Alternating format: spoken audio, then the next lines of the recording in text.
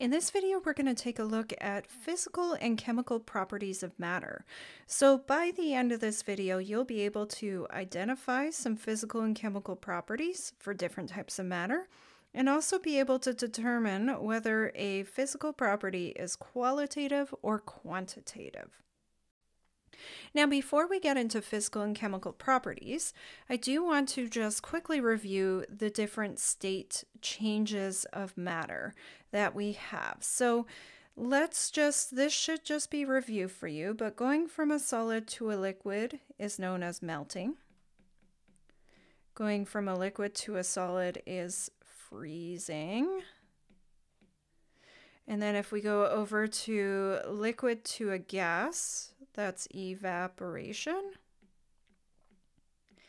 And going from a gas to a liquid is condensation. And then finally, our gas to solid changes. Going from a solid to a gas is called sublimation.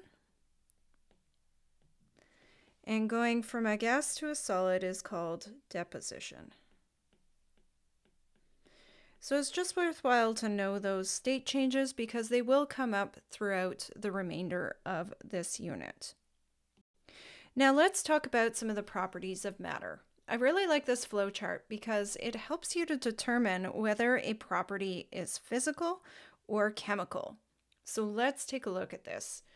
Now, properties of matter refer to the qualities or attributes that distinguish one sample of matter from another. Um, if we take a look at matter itself, then we can ask ourselves, are the properties determined without changing the identity of the substance?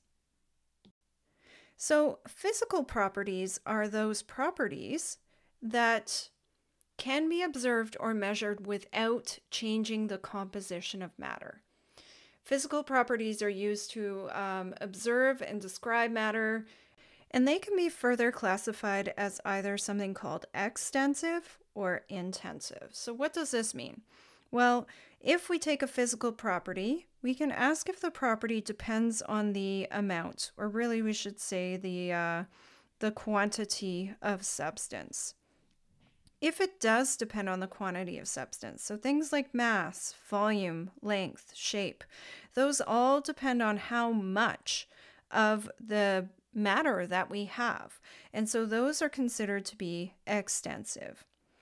Intensive physical properties are ones that doesn't it doesn't matter how much or what quantity we have of the matter itself. So the color it doesn't matter how much you have of that matter, the color is not changing. Same with things like melting point, boiling point, and density. They all remain the same without changing the amount or the quantity of that substance that we have.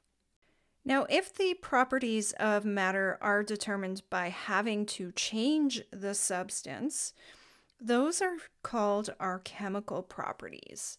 And chemical properties of matter really describe its potential to undergo some sort of chemical change or reaction, um, depending on its composition. So, it's often quite difficult to define a chemical property without using the word change because they are undergoing change. And right now, uh, you're not going to be able to look at a compound or formula and be able to state some chemical properties. That's pretty hard to do without having a little bit more background understanding in chemistry. But eventually, you should be able to look at a formula of a compound and state some sort of chemical property. For this course, though, you are not expected to be able to do this. Uh, some examples of different types of chemical properties are things like hydrogen. Hydrogen gas has the potential to ignite and explode given the right conditions. So that's a chemical property. Or metals in general will typically react with an acid. And so, for example, zinc reacts with hydrochloric acid and it produces hydrogen gas. So that would be a chemical property.